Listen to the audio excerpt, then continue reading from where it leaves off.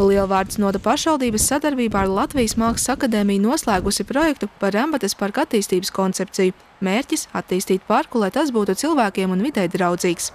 Valdība jau, jau no augusta mēneša sadarbojās ar Latvijas Mākslas akadēmijas studentiem. Un, jāsaka, tā ir noslēdzies ļoti veiksmīgs projekts par Rembates parka koncepciju, kā varētu teiksim, izskatīties Rembatas parks Lielvārdē.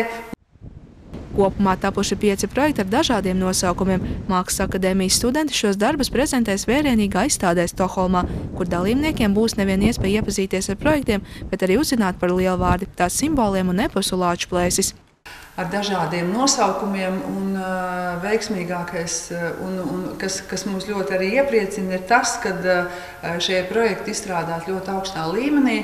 Uh, un uh, šie studenti no 4. līdz 9.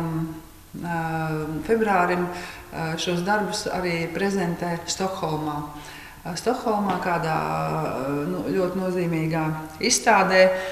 Un, uh, mums ir uh, tiešām ļoti liels pagodinājums ticis, jo, jo viņi prezentēs ne tikai teiksim, šos projektus, bet arī, arī uh, Lielvārdas pilsētu, mūsu simbolus, mūsu eposu lāčplēses. Un tā, un 19. februārī, tad, kad viņi būs atgriežušies no Stokholmas, viņi prezentēs šos darbus šeit, Kultūras namā Lielvārda. Lielvārds iedzīvotāji par ideju uzlabot Rembats parku ir atsaucīgi. Viedokļi ir dažādi, bet visi ir lepni, ka beidzot notiks pārmaiņas. Zināt par Rembats parku Lielvārdā? Zinu. Sakiet, kā jūs domājat, viņu ir vajadzīgs uzlabot? Vajaga. Ko tieši vajadzētu uzlabot parkā? Nu, sakot, protams, to dīķi. Nezinu, manuprāt, uh, iespējams, ka nē, bet vienīgais varētu saliņas kaut ko, varbūt kādu nojumu ko tādu, teiksim, kā īstai estrādē. Domājat, vajadzētu šo parku uzlabot? Protams. Varētu uzlabot kaut ko bērniem, paspēlēties kādu bērnu laukumu kaut kur, jo reāli lielvārdē te nav nekur tāda bērnu laukuma. Un īpaši jau jaunās māmiņas, kad pastaigājas pa parku, nu, ir divi bērni vai vairāk, un tad, nu, varētu kaut ko nu, pastaigāt. Tas lielākais bērns ar kaut ko parotoļoties vai ko.